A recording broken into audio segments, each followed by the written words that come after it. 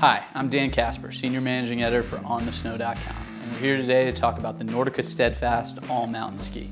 This is the perfect ski for a strong skier looking for a carving tool that performs well off-piste.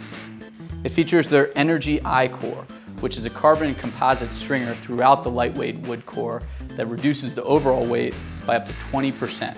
Combine that with a 90 millimeter waist and you have an efficient side country tool. The Camrock profile adds slight tip rocker here and then a full vertical sidewall throughout the rest of the ski.